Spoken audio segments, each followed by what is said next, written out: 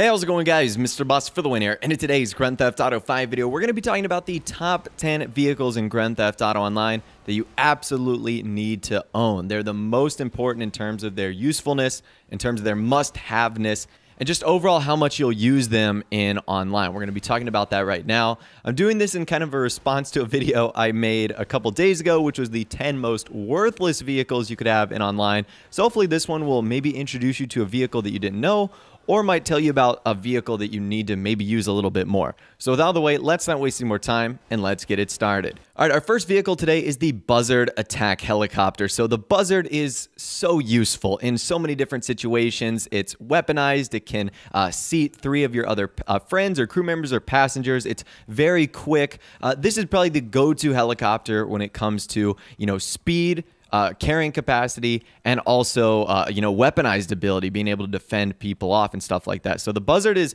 by far like the most useful helicopter of all time. I used it in CEO missions, biker stuff, the bunker stuff now more than ever. So the Buzzard, like I said, by far one of the best, and the fact that you can have it spawned in instantly via the CEO system is pretty convenient too. All right, moving on. The next vehicle is the Mobile Operations Center. I cannot stress how important this vehicle is. So, number one, the Mobile Operations Center is the only way in which you can get a couple of things. Like, it's required to get certain things. Number one is the MOC missions for like the Oppressor and the Night Shark and the uh, Weaponized Tampa. Without the MOC, you can't do that.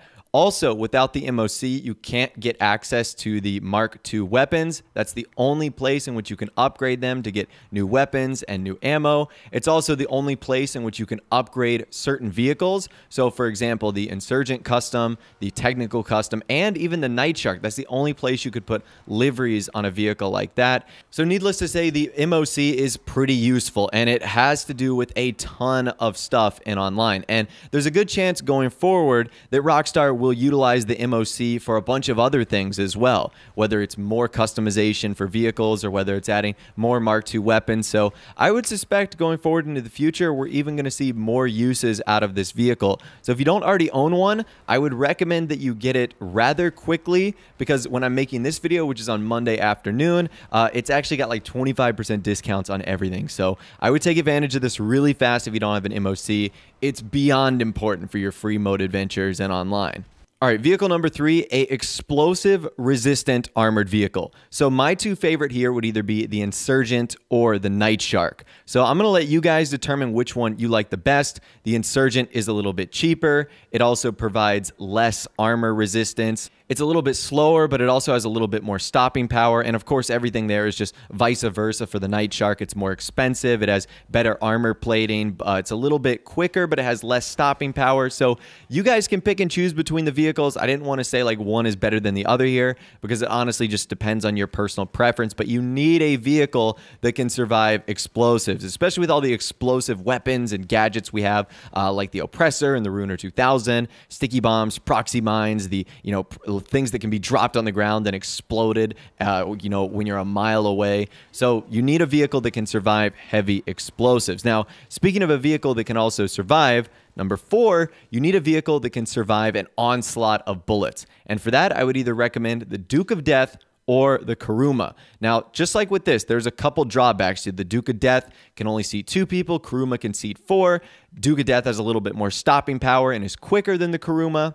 The Kuruma has a little bit more bullet protection, but it cannot survive a single explosive. Whereas the Duke of Death has a little bit less bullet resistance, but it can survive that one explosive, which could be important in a firefight. So, once again, I'll let you guys determine which one you like the best, but you're going to need a vehicle that can survive bullets, whether it's from NPCs or other players. It's useful in contact missions, heists, and especially in free mode. Okay, moving on to vehicle number five, you're going to want at least one top tier supercar. Now, about seven out of every 10 races you see is going to be with a supercar. They're, they're just the most popular for races and I would say typically in general. So you're going to need a good supercar.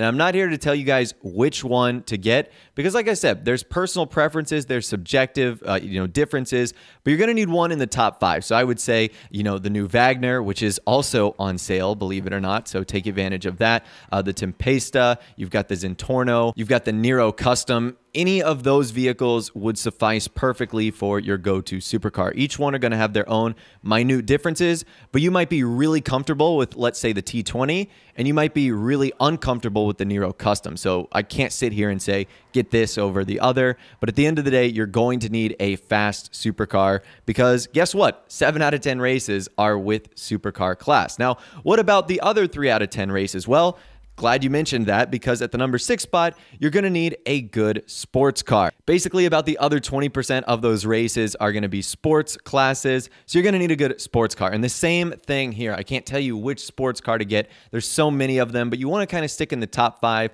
whether it's the Elegy, whether it's the uh, race car, the Jester race car, the Feltzer. It doesn't matter. You might have a favorite sports car. As long as it does well for you, you're going to need something like that. Because just like with the supercars, the majority of stunt races, the majority of regular races are super in sports. So you're going to want to have a tag team of great vehicles like that that'll get you set and good to go for those events and for those races and for free mode as well. You want fast cars to be able to zoom around and doing missions and whatnot. So having a sports car and a supercar is perfect for that too. Vehicle number seven, the Phantom Wedge. So hear me out here. The Phantom Wedge is incredibly versatile. So obviously it can barrel through traffic. We know that it has a massive wedge on the front but it's also one of the most unique vehicles. It can actually seat five people, which is pretty crazy. And because those people on the back that can sit on the, the back of the uh, cab itself have access to all their weapons, you essentially become like a mobile arsenal which is amazing. Now, there's a couple other things about the Phantom Wedge you might not know that make it incredibly versatile. It can be used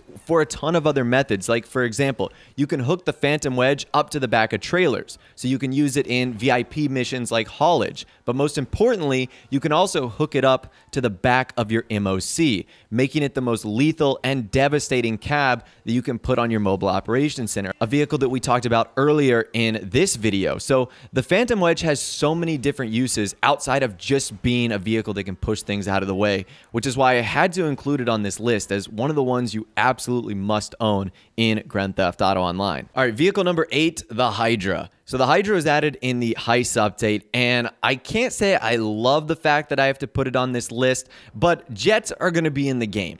And we've got a couple jet deterrents like the new vehicles from gun running, but sometimes you really just have to fight fire with fire. Or there might be someone in the lobby that's totally trolling and you got to just grab a jet and take them out. And the Hydra is going to be your best bet because the lasers only spawn at Fort Zancudo and there's no other uh, really alternative. So the Hydra is pretty much a must have. It's pricey. It's $3 million, but sometimes you just need a VTOL military jet to take away some of your problems that you might have in Grand Theft Auto Online public lobbies. So that one right there is probably the one I might regret the most putting on this list, but I'm still going to go with it. Anyways, let's move on to the number nine spot, and that is the newly added Oppressor.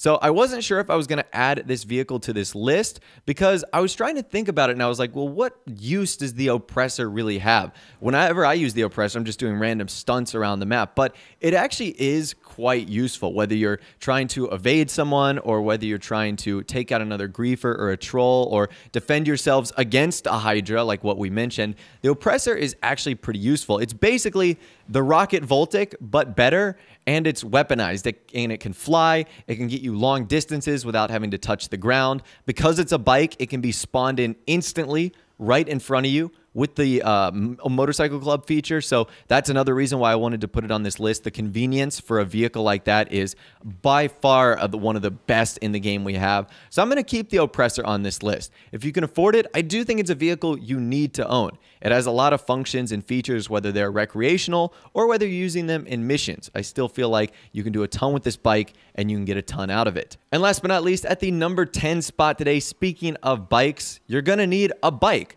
So whether that's a Shotaro or a Hakuchou Drag or a Bati, uh, you're going to need a bike. If you're not doing a super or a sports car race, you're probably doing a motorcycle race. So that's pretty important too. Uh, I'm pretty sure stunt races are only motorcycle, sports, and super. So keep that in mind. But also, if you're doing the time trials, bikes are definitely going to be your best bet here. There's also a bunch of free mode challenges like the longest wheelie challenge, the longest stoppy challenge. Those can only be done with bikes, so that's something you're going to have to need. And grabbing them off the street isn't really convenient. So I would definitely recommend that you own a really quick bike. It's probably a staple to have in online. Now, probably an honorable mention that I wanted to include on this list was going to be the Cargobob. The Cargobob is very useful too, but because those spawn pretty much at every helipad, I didn't want to put this on this list because even if you don't own a Cargobob, they're still pretty convenient to just grab from really any part of the map. But anyways, that's all the information I'm going to be talking about for you guys in this video today. Top 10 vehicles that you absolutely must own in Grand Theft Auto Online.